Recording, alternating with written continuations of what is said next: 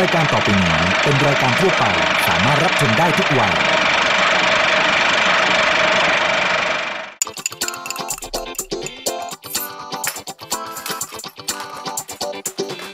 กินได้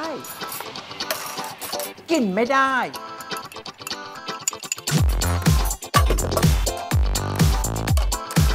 กินได้ ก็กิน กินไม่ได้ก็เททิ้งไปสิ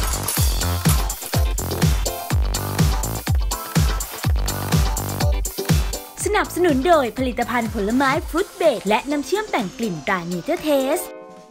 สวัสดีค่ะคุณผู้ชม กลับมาพบกับนานาในรายการกินได้ก็กินนะคะ ทุกวันจันทร์เวลาบ่ายสามโมงนี้ทาง Workpoint TV หมายเลข 23 ค่ะ วันนี้นานามีเรื่องผักโขมมาฝากคุณผู้ชมกัน หลายๆ คนจะบอกว่าผักโขมปัจจุบันนะสะดวกขึ้นเยอะมาก เพราะว่าเมื่อก่อนนะคุณผู้ชมต้องซื้อผักแบบนี้มาต้ม บีบน้ำแช่แข็งจะใช้เมื่อไหร่ก็หยิบมาใช้ปัจจุบันเนี่ยตามซูเปอร์มาร์เก็ตใหญ่ๆเนี่ยจะมีผักโขมแช่แข็งเอาไว้บริการคุณผู้ชมเรียบร้อยแล้วล่ะ แล้วก็ช่วงเนี้ยหน้าฝนผักโขมเยอะราคาถูก ถ้าอยากลองทำเองมาลองทำพร้อม ๆ กันแบบนานานะคะ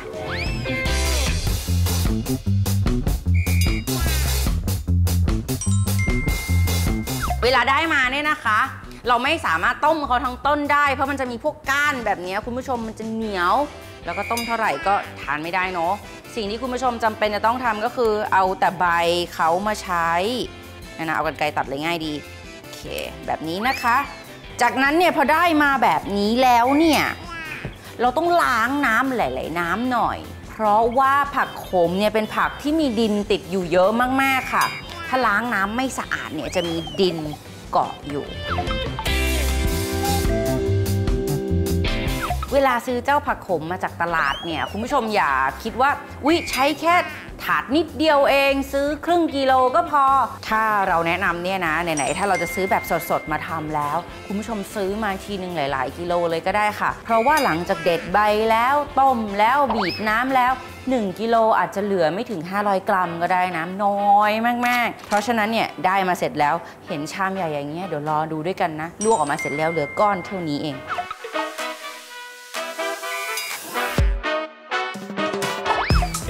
ล้างน้ำจนสะอาดแล้วเนี่ยนะคะ จนน้ำไม่เห็นมีขี้ดินแล้วเนี่ยจากนั้นเสด็จน้ำไว้แล้วเราจะมาลวกผักขมกันค่ะ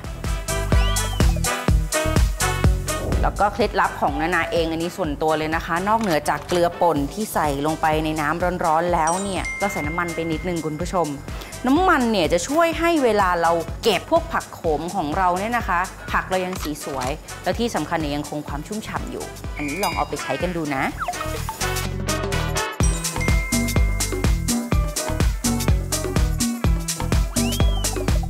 บางคนจะบอกว่าลวกผ่านน้ำร้อน แค่นี้ก็ใช้ได้แล้วสำหรับเราเราคิดว่าลวกเขาจนนุ่มหน่อยเนี่ยบีบน้ำแห้งๆเก็บได้นาน โอเค เอาขึ้นมาเสร็จแล้วเราจับดูก้านเขาดูนะคะ ถ้าเราเอานิ้วเนี่ยบิดก้านออกมาได้แบบเนี้ยแปลว่าใช้ได้แล้ว จากนั้นนะคะ ปิดไฟยกลง ใส่น้ำเย็น เพื่อต้องการหยุดเขาไม่ให้เขาสุกต่อ ที่สำคัญน้ำเย็นจะทำให้ผักโขมของเราสียังสวยนะคะ เนี่ยคุณผู้ชมดูสิ จากจานใหญ่มากเลยเมื่อสักครู่ เหลืออยู่เท่านี้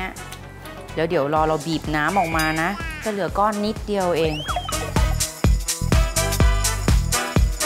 เวลาคุณผู้ชมจะเก็บเนี่ยนะคะ ก็สามารถเรียงใส่กล่อง ชั่งปริมาณตามต้องการ แช่แข็งจะใช้เมื่อไหร่ก็หยิบเจ้าก้อนนี้ออกมาแล้วก็มาปรุงอาหาร ลดขั้นตอนลดระยะเวลาในการทำกับข้าวได้เยอะเลยค่ะ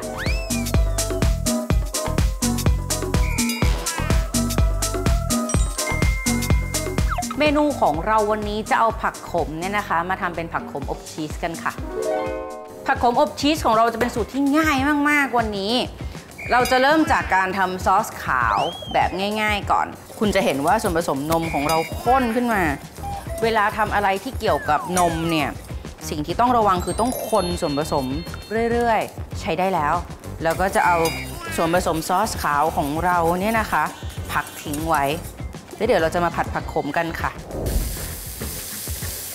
ส่วนผสมเริ่มได้ที่แล้วเราใส่ผักโขมของเราลงไป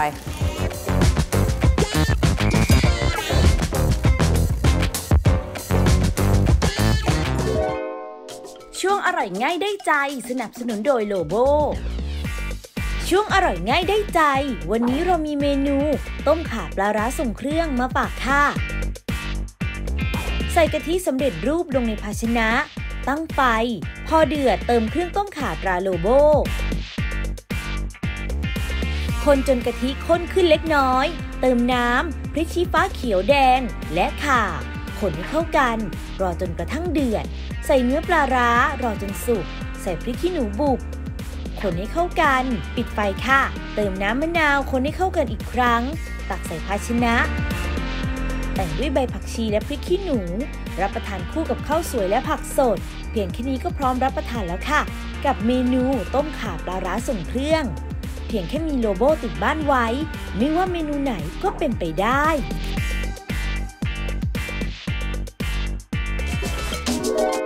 วันนี้เรามีเมนูอร่อยทำง่ายได้คุณค่า สนับสนุนโดยน้ำมันพืชตรามรกตมาฝากค่ะ กับเมนูยำเส้นแก้วรวมทะเล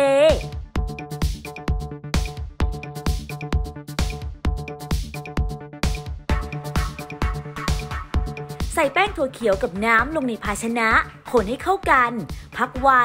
แล้วเทส่วนผสมที่ได้ ลงในถาดที่นึ่งในลังถึง เตรียมไว้ค่ะ นึ่งจนสุกดีแล้วเปิดฝา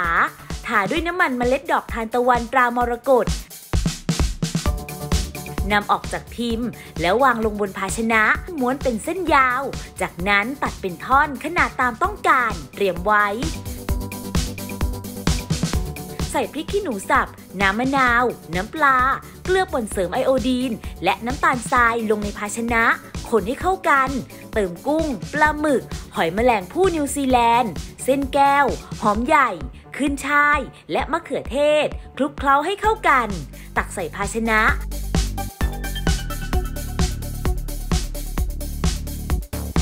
ตกแต่งด้วยใบขึ้นช่ายให้สวยงาม พร้อมเสิร์ฟค่ะ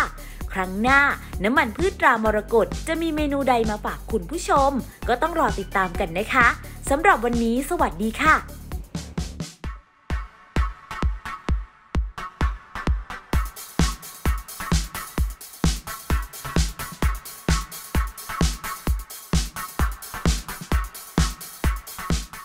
ได้ ก็กิน กินไม่ได้ก็เททิ้งไปสิ กินได้ ก็กิน กินไม่ได้ก็เททิ้งไปสิ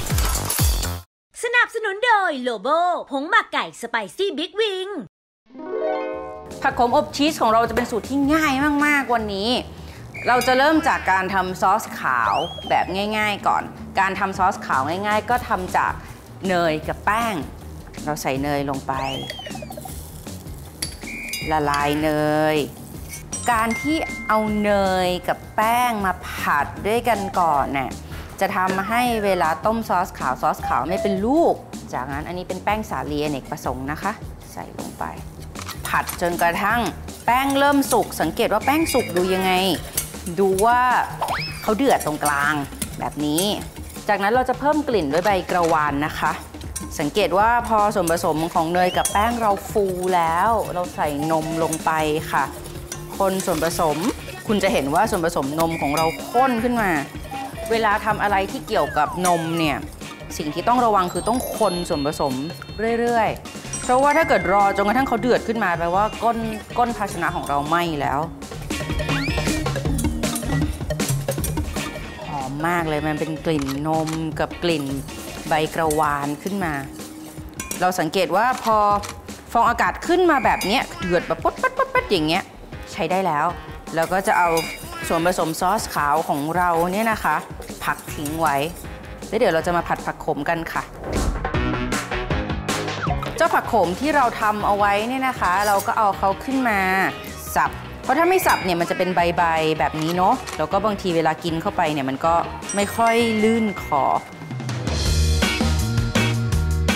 จากนั้นเราจะมาผัดส่วนผสมผักขมกันเนยสด ใส่หอมแดงลงไปผัด นานาจะผัดหอมแดงกระเทียมและเบคอนเข้าด้วยกันนี่เป็นเบคอนสับละเอียด ใส่ก็ได้ไม่ใส่ก็ได้นะเบคอนแต่ส่วนตัวเราอะจะชอบให้มีเนื้อเบคอนนิดหนึ่งมันจะอร่อยกระเทียมค่ะ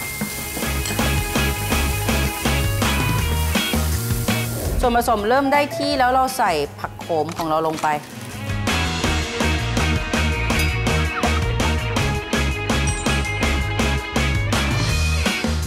จากนั้นปรุงรสนะคะ เกลือป่น ระวังอย่าปรุงเค็มมาก เพราะว่าข้างบนมันยังมีชีสอีก แล้วก็พริกไทย บางคนก็จะนิยมใส่สมุนไพรตัวอื่นเข้าไปด้วย แต่ว่าแค่นี้เด็กๆก็จะอร่อยละ อันนี้เป็นความชอบส่วนตัว เราอะจะนิยมเอาซอสขาวของเรา รองภาชนะทุกครั้งที่ทำ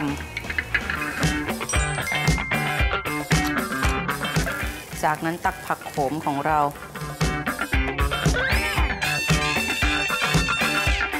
อันนี้เป็นความชอบส่วนตัวอีกเช่นกัน จะชอบมีเบคอนกรอบๆซุกอยู่ข้างในด้วย แล้วก็โรยซอสขาว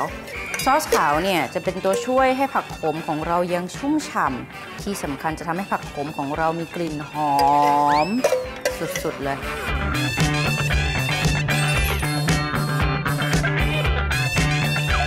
ก่อนนำเข้าเตาอบเราจะโรยชีส เรามีชีส2แบบ อันนี้คือมอสซาเรลล่านะคะ ขูดเขาแล้วก็โรยลงไปเลย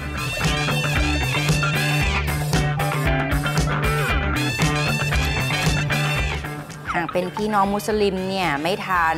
เบคอนก็สามารถเปลี่ยนเป็นแฮมไก่ หรือเป็นไส้กรอกไก่ก็ได้ก็อร่อยเหมือนกันนะคะ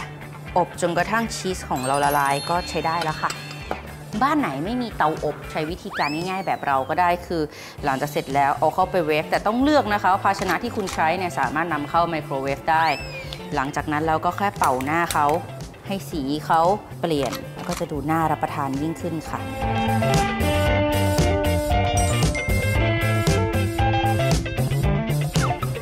ดูชีสที่มันขึ้นมาแบบนี้สิน่ารับประทานมาก คุณผู้ชมจะเห็นว่าตัวที่เกิดสีเนี่ยคือพาร์เมซานส่วนตัวที่ยืดเนี่ยคือมอสซาเรลล่าเลย แต่งหน้าด้วยเบคอนกรอบๆนิดหน่อยนะ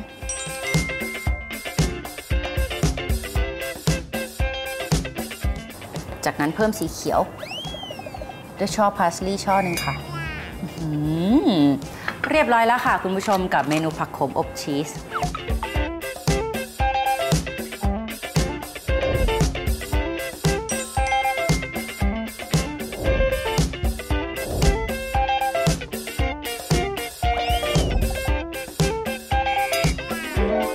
ช่วงหน้าอาจารย์ยิ่งศักยังคงมีเมนูอร่อยอร่อยรอคุณผู้ชมอยู่ อย่าลืมติดตามชมนะคะ ค้กข้าวเหนียวหมูย่างนมสดนะครับ เพราะฉะนั้นเราก็คงต้องเริ่มต้นด้วยการเตรียมหมูก่อน วิธีการหมักจะต้องล้ำเลิศเลิศล้ำเลิศจัดการเคล้าก่อนให้เข้ากันซะก่อน เสร็จเรียบร้อยคุณผู้ชม พักไว้ 3 ชั่วโมง เดี๋ยวเรามาย่าง แต่ในระหว่างนี้ เดี๋ยวเราเตรียมตัวทำน้ำจิ้มแบบแจ่วแซ่บกันนะครับ อุ้ย หมูสุกแล้วคุณผู้ชม เดี๋ยวจัดการหมูกันก่อนนะครับ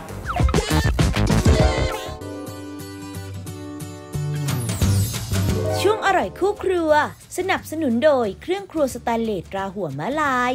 วันนี้เรามีเมนูชวนหิวมาให้ลองทำกันค่ะ กับเมนู หมูกรอบ ต้มน้ำจนเดือด ใส่เกลือป่นเสริมไอโอดีนและน้ำส้มสายชูคนให้เข้ากัน ใส่เนื้อหมู3ชั้นที่บ้างไว้ ลงต้มนานประมาณ 45 นาที หรือจนกระทั่งเนื้อหมูสุกและหนังหมูใส พักไว้จนเย็นสนิท ใช้ซ่อมจิ้มบนหนังหมูให้ทั่วทั้งชิ้น ทาน้ำส้มสายชูลงบนหนังหมูสามชั้นที่ต้มไว้ให้ทั่ว จากนั้นใส่ในหม้ออบลมร้อน โดยใช้อุณหภูมิประมาณ 70 องศาเซลเซียส ประมาณ 3 ชั่วโมงนำหมู 3 ชั้นที่อบไว้ลงทอดในกระทะ Vitalux 3 ชั้น ขนาด 28 เซนติเมตร ทรงลึก IS ด้ามและหู Bakelite ตราหัวม้าลาย ที่กระจายความร้อนได้เร็วและทำความสะอาดได้ง่าย โดยใช้ไฟปานกลาง ทอดจนหนังหมูสุกกรอบ ตักขึ้นพักไว้ วางหมูกรอบลงบนเขียง สับเป็นชิ้นจะใส่ภาชนะ รับประทานคู่กับซีอิ๊วดำหวาน ไม่ว่าจะทำเมนูอะไรก็ไม่ใช่เรื่องยากอีกต่อไปค่ะ เพียงแค่มีเครื่องครัวสแตนเลสตราหัวมะลาย กินได้ ก็กิน กินไม่ได้ก็เททิ้งไปสิ กินได้ ก็กิน กินไม่ได้ก็เททิ้งไปสิ วันนี้อยากจะชวนคุณผู้ชมรับประทานขนมเค้กกัน แต่ไม่ใช่ของหวานนะ เป็นเค้กแบบของคาวค่ะ เป็นเค้กข้าวเหนียวหมูย่างนมสดนะครับ เพราะฉะนั้นเราก็คงต้องเริ่มต้นด้วยการเตรียมหมูก่อน เพราะหมูนี่จะต้องหมักวิธีการหมักจะต้องล้ำเลิศเลิศล้ำเลิศเริ่มต้นทำง่ายคุณผู้ชมเลือกหมู เลือกเอาเป็นส่วนสันคอ มีมันติดหน่อยนะคุณผู้ชมนะ เพราะว่าการมีมันติดหน่อยไม่ใช่อ้วน แต่การมีมันหน่อยจะทำให้เนื้อหมูมีความนุ่ม แล้วเวลาย่างหรือใส่ฝาอบออกมามันจุยซี่คือมันมีความชุ่มชื้น แล้วก็มีความละมุนคุณผู้ชม วิธีการหมักหมูของเราเตรียมสันคอไว้ น้ำตาลปี๊บไม่ละลายก่อนนะคุณผู้ชม อาจารย์นิสันจะแนะนำคุณผู้ชมว่าให้บีบเป็นก้อนๆแล้วคุณผู้ชมจะได้ใช้เวลาในการคลุกเคล้าต้องแน่ใจว่าเคล้าจนกระทั่ง น้ำตาลปี๊บละลายหมด มันก็จะทำให้เรามีเวลาในการผสมไม่งั้นก็คลุกๆสองทีวิ่งไปล้วไม่ได้คุณผู้ชมยังไม่ซึมเข้าไปในเนื้อหมูผงทำอาหารทอดกระเทียมพริกไทยโลโบซองนี้คุณผู้ชม ซองนี้จริง ๆ อาจารย์ยิ่งศักดิ์ใช้สำหรับการทำหมูย่างตำรับนี้แล้วอร่อยถูกใจนะคุณผู้ชม นมข้นจืดตรานกเหยี่ยวฟาลคอนคุณผู้ชม ใส่ลงไปด้วย เราก็ต้องไม่ไม่ต้องใส่เยอะมากคุณผู้ชม นิดหน่อยแค่นี้ จัดการเคล้าก่อนให้เข้ากันซะก่อนเนี่ยเห็นไหมน้ำตาลปี๊บเมื่อกี้ยังเป็นชิ้นๆ ใช่ไหมก็ต้องขยำแล้วก็คลำดูอุ้ยแตายเจออีกแล้วเจอตรงไหนมีตรงนั้น เอาล่ะ พอได้แบบนี้ใช่ไหม เราจะพักส่วนผสมนี้ไว้ แต่ก่อนที่เราจะจัดการไปพักในตู้เย็น ใส่นี่น้ำมันถั่วเหลืองมรกตสักนิดหนึ่งคุณผู้ชม มันจะดูเงาวาววับเวลาเราย่าง แล้วเราก็ไม่ต้องไปเติมน้ำมงน้ำมันอะไรอีกคุณผู้ชมมันจะพอดีพอดีนะ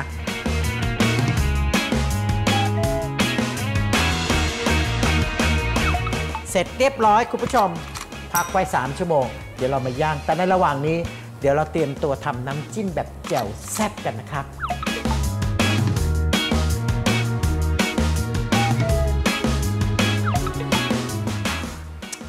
คุณผู้ชม กลิ่นหมูย่างลอยมาเชียว ในระหว่างที่เราย่างหมูย่างกำลังใกล้สุกแล้วก็เริ่มเหลืองเป็นสีน้ำตาล เราก็มาทำน้ำจิ้มแจ่วกันนะครับ เริ่มต้นสำหรับการทำน้ำจิ้มแจ่วสูตรนี้นะคุณผู้ชมใช้น้ำร้อน ร้อนจัดๆนะคุณผู้ชม ตามด้วยน้ำตาลปี๊บคุณผู้ชมใส่หวานมากหวานน้อยตามใจ แต่สำหรับเราเราเราไม่ชอบอะไรที่หวานจนเกินไป เราคิดว่าน้ำตาลปี๊บแค่นี้พอ เอาเพียงแค่น้ำตาลละลายกับน้ำร้อน คนไปกว่าจะละลาย อุณหภูมิก็ลดลง แต่มันก็สบายใจนะคุณผู้ชมนะรับประทานอะไรมันต้องสุกสุกร้อนร้อนๆเอาเสร็จเรียบร้อย น้ำตาลละลายแล้ว ซอสปรุงรสพวกฝาสีเขียวอะดูมันจะถูกโฉลกกับการเป็นน้ำจิ้มแจ่วมากกว่าน้ำปลานะคุณผู้ชม เรายังขาดเปรี้ยว ก็ต้องน้ำมะขามเปียกเข้มข้นตรา Nature Taste ซองนี้คุณผู้ชม นี่ซื้อเป็น 10 10ซองติดบ้านไว้เลยนะคุณผู้ชม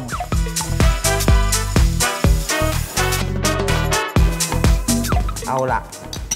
อุ้ยตายน้ำลายสอดูน่ารับประทานนะคุณผู้ชมนะ เสร็จแล้วเปรี้ยวเค็มหวาน เราก็ขาดพริก เราก็ใส่เผ็ดด้วยการใช้พริกขี้หนูแห้งป่นใส่ลงไป เราก็จะใส่ข้าวคั่วลงไปก่อนครึ่งหนึ่งนะคุณผู้ชมอย่าใส่หมด ใส่ข้าวคั่วลงไปส่วนนี้ ตามด้วยหอมแดง เสร็จแล้วก็ผักชีฝรั่งก็ใส่สักครึ่งหนึ่ง ถ้ามันข้นมากเกินไป มันจะไม่ใช่น้ำจิ้มแจ่วอุ้ยหมูสุกแล้วคุณผู้ชม เดี๋ยวจัดการหมูกันก่อนนะครับ อันนี้ต้องใช้เทคนิคนะไม่งั้นมันจะสิ้นเปลืองคุณผู้ชม มีดจะต้องคมแล้วก็แบบเอียงมีดกันบางสุดฤทธิ์เชคุณผู้ชม เอียงมีดสุดฤทธิ์แทบลงไปนอนสไลด์หมูได้ก็จะทำแล้วนะคุณผู้ชมนะ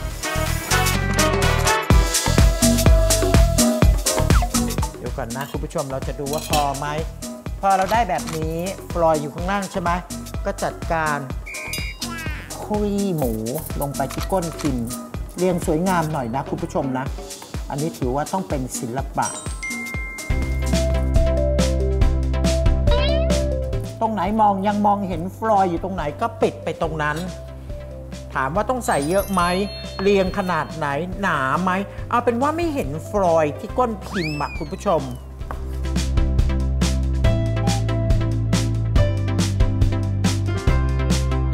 ข้าวเหนียวต้องบอกคุณผู้ชมว่าเดี๋ยวนี้ถ้าไปตลาดหรือไปซูเปอร์มาร์เก็ตต้องดูนะข้าวเหนียวขาวตราข้าวทอง จัดการซาวซะ แช่น้ำสักสองสามชั่วโมง เรานึ่งในรังถึงจนกระทั่งสุกนะคุณผู้ชม เราจะได้ข้าวเหนียวร้อนๆแบบนี้นะคะ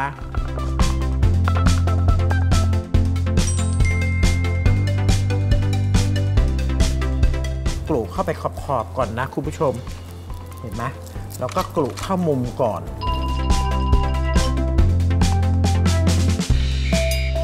ก็อัดพอสมควรให้มันเป็นวงนะคุณผู้ชม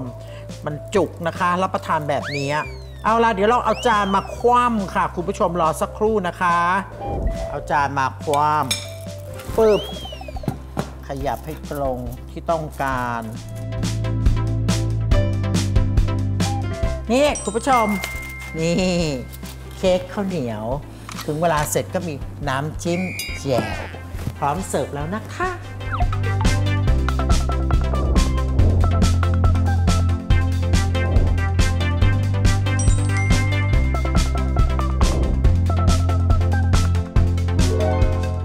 ใจอยากจะยืนรับประทานเค้กข้าวเหนียว หมูย่างนมสดกับคุณผู้ชม แต่เวลาของรายการหมดแล้วล่ะ คุณผู้ชมอย่าลืมไปทำรับประทานนะครับ และติดตามชมรายการกินได้ก็กินใหม่นะ คุณผู้ชมเป็นประจำทุกวันจันทร์บ่ายสามโมงยีทาง Workpoint ช่อง 23 นะ วันนี้ลาคุณผู้ชมไปก่อนนะคะ สวัสดีค่ะ วันนี้นานามีเรื่องถั่วลิสงมาฝากกันค่ะ คุณผู้ชม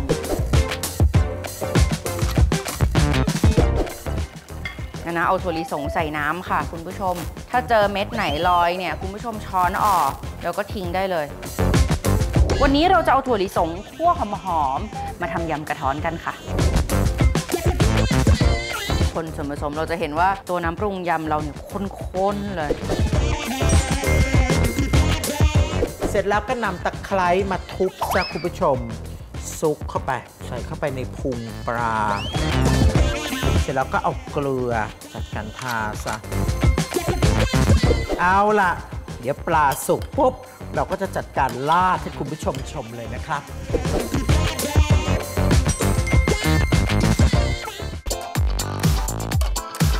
กินได้ก็กิน กินไม่ได้ก็เททิ้งไปสิ